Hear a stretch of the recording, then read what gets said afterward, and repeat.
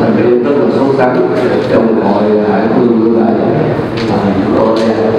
trước là xin chia buồn cùng quý chị và các cháu về tất cả các việc đây một người nữa. Chúng tôi đã xin kính cần phân luận họ cảm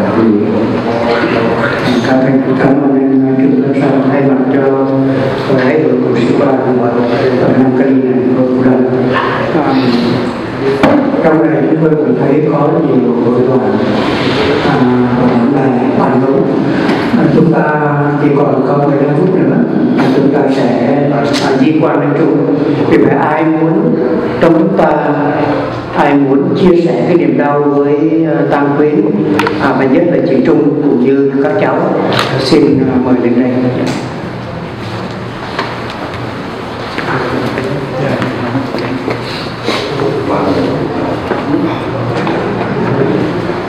À, trước tiên tôi xin cảm ơn các anh chị uh, dành rất nhiều thời gian. Đến đây chia sẻ cái uh, sự mất mát của gia đình. Uh, tôi xin tự giới thiệu tôi là em trai út của anh Trung. Uh, chúng ta đã nói nhiều về uh, anh Trung một người con một người cha và một chiến binh. Bây giờ nói thêm về người anh. Thì ngày xưa lúc mà anh bậc học thi thì mẹ thường hay nói thôi giờ phải bồi bồi dưỡng cho anh. Thì sai cái chị à, đi mua đồ về cho anh vừa ăn được vừa học thi. Thì mấy chị mua đồ về thì lén lén ăn. Anh nhìn thấy anh biết nhưng mà anh cứ anh cứ vợ nhưng không thấy để cho em ăn. Rồi anh sống. Anh mới được ăn anh biết những anh không nói. Đó là một người anh mà tụi em là kính mến nhất. Thì em cũng không biết nói gì hơn. Xin cảm ơn các anh chị đã đến để chia sẻ những nỗi thương đau và mất mát của gia đình. Em xin cảm ơn, cảm ơn các anh chị và cảm ơn các sư đã làm lễ cho. Anh xin tới đây.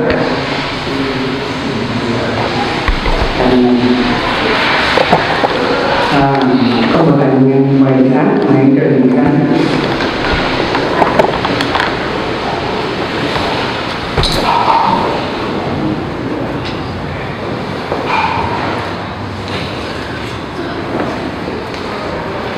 cảm ơn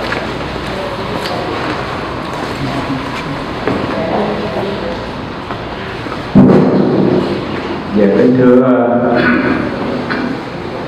quý đại đức, tăng ni, chùa điều ngự. Thưa tăng quyến của trung, kính thưa quý quan khách, có mặt hôm nay tôi là trần đình kháng, cùng hòa bình trung. Khoảng 70 gần đây ở dưới đó cũng có hai ba đêm.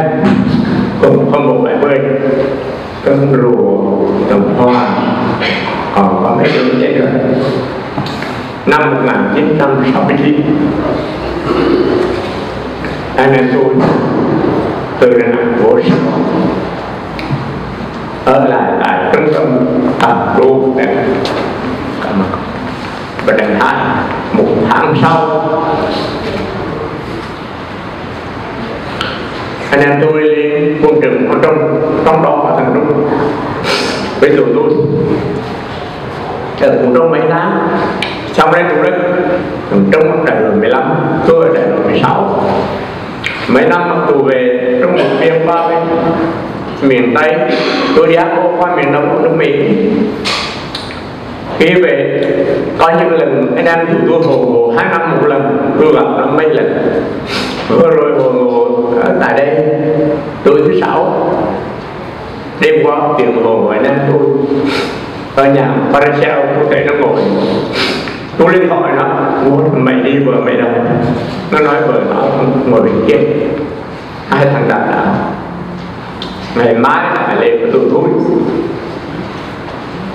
ngày mốt là chiều chủ nhật. Người bạn của tôi là nhiễm ở trên vùng nam mời tất cả anh em lúc này lên đó để hậu hồi ngủ chiều chủ nhật tôi lên đó giống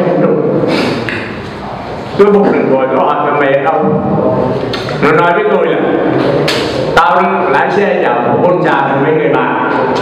Tôi hỏi, mai mày muốn rú nó là tao phải lên thang đèo, thăm mấy cái trong đội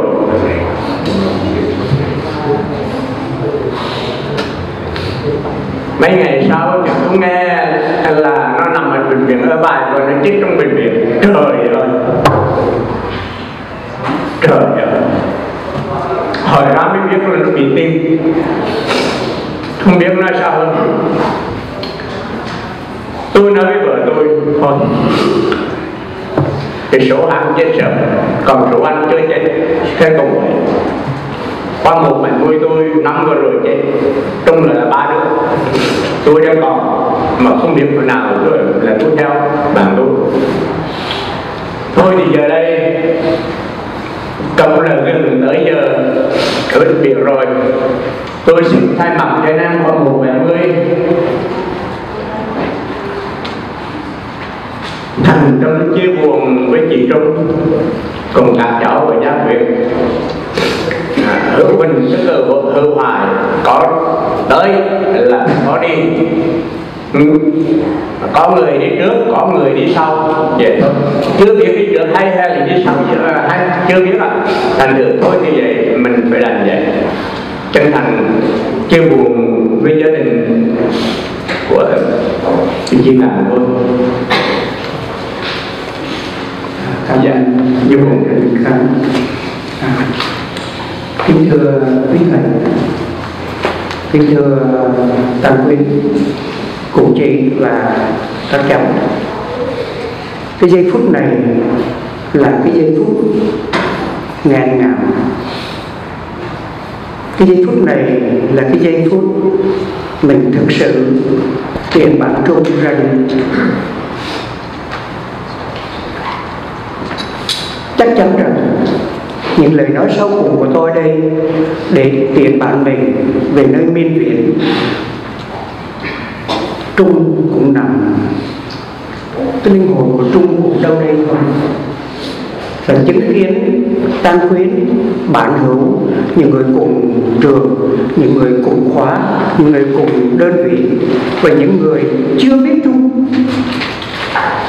tôi xin được đại diện cho hội ái hữu của ủy ban hải quân lưu đại và đồng thời cũng là trưởng ban tổ chức cái hội ngộ cảm ơn những anh em quân nhân mà biết tình nghĩa đế huynh đã hai hôm nay đưa những chiếc xe jeep đến đây để tạo cho một, một kỷ niệm ngày nào đó ở tại đơn vị ngày nào đó trong quân ngũ tôi thành thật cảm ơn các bạn.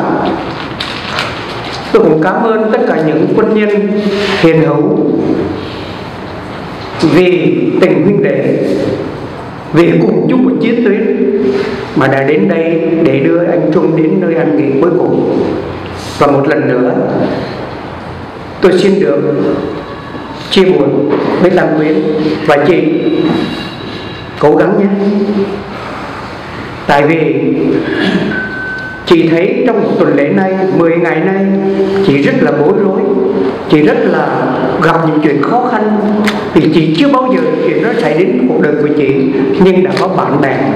Tôi cảm ơn anh chị Phước đã tên xô máy bay, mà ở lại đây thêm 10 ngày nữa.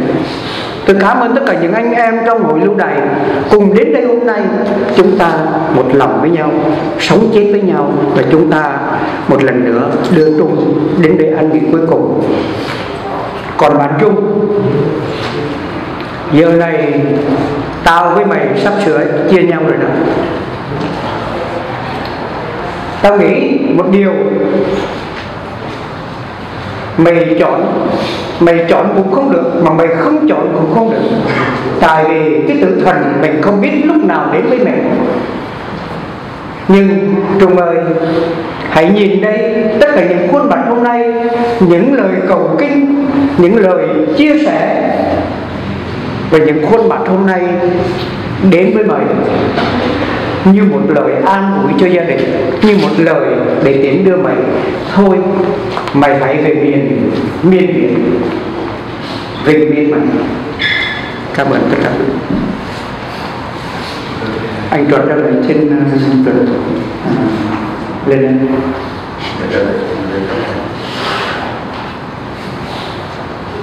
Chúng ta còn à, uh, 10 phút nữa.